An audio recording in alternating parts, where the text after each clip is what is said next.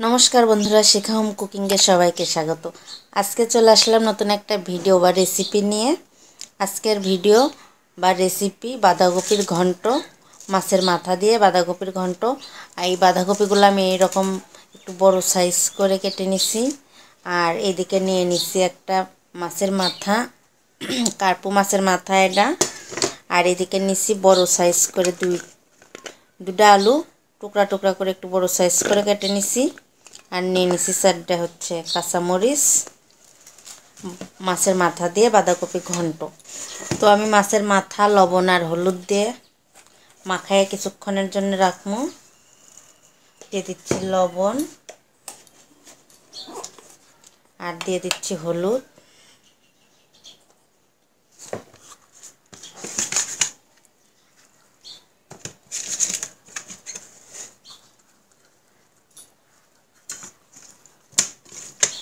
ভালো করে মাছের মাথা লবণ হলুদ দিয়ে মাখানো হয়ে গেছে।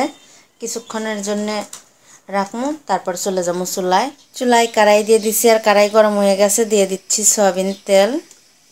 লবণ হলুদ মাখানো সেই মাছের মাথা আমি দিয়ে দিচ্ছি ভাজার জন্যে।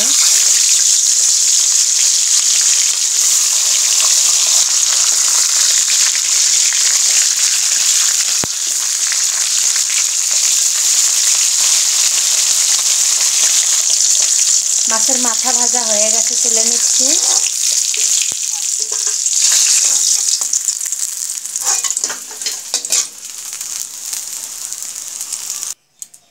ওই তেলের মধ্যে দিয়ে দিচ্ছি একটা শুকনা মরিচ, দুটা তেজপাতা, দারচিনি, সাদা এলাচ আর গোটা জিরে। মশলা ভাজা হয়ে গেছে, ওর মধ্যে দিয়ে দিচ্ছি চারটে কাঁচামরিচ এক চামচ মতো আদা জিরে বাটা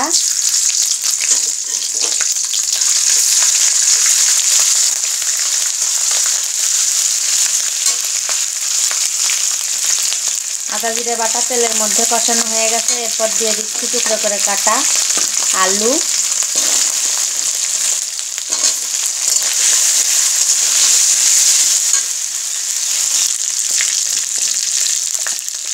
দিয়ে দিচ্ছি সামান্য একটু হলুদ।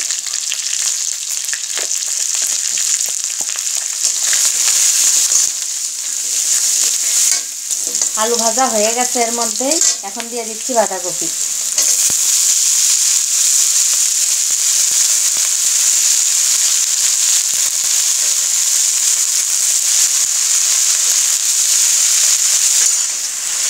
এর মধ্যে দিয়ে দিচ্ছি লবণ।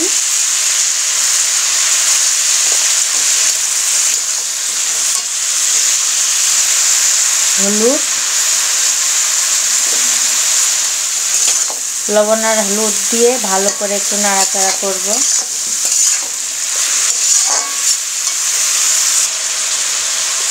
লবণ হলুদ দিয়ে নাড়াচাড়া করা হয়ে গেছে, এবার দিয়ে দিচ্ছি সামান্য ধনের গুঁড়া।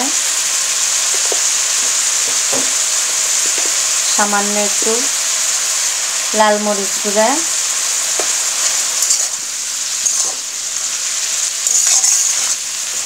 লবণ দেওয়ার পর কপি থেকে নিজেই জল বাড়ায় পড়ছে।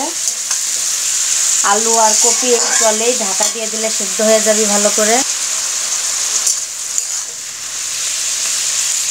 এবার একটু ঢাকা দিয়ে দিলাম, ভালো মতো সেদ্ধ হওয়ার জন্য।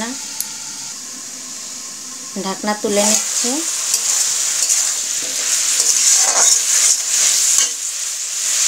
এখন দিয়ে দিচ্ছি চালের গুঁড়া। সামান্য একটু জল দিয়ে গুলে নিয়ে। আঠালো একটা ভাব আসার জন্যে।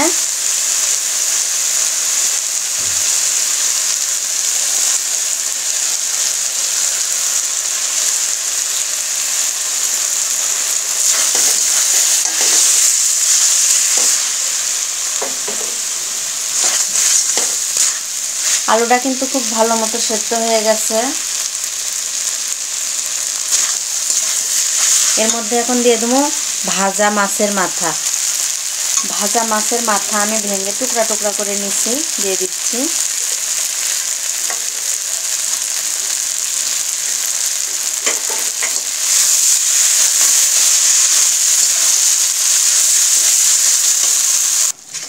মাছের মাথা দিয়ে ভালো করে নাড়াচাড়া করা হয়ে গেছে, এবার আমি দিয়ে দিচ্ছি ঘরে তৈরি করা একটা ভাজা মশলা, জিরে, জয়ত্রী, জায়ফল সব কিছু একসাথে ভাজা, গুঁড়া করা, শুকনো একটা মশলা দিয়ে দিলাম।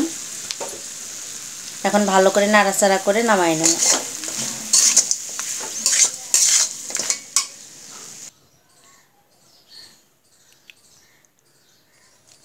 হয়ে গেছে আজকে আমার বাঁধাকপি ঘন্টর রেসিপি এবার নামাইয়ে দেখাচ্ছি।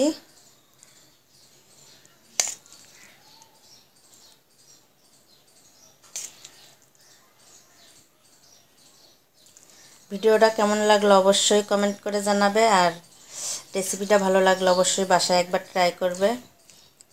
তো আজ এই পর্যন্তই। দেখা হবে পরবর্তী নতুন কোনো ভিডিও বা রেসিপি নিয়ে।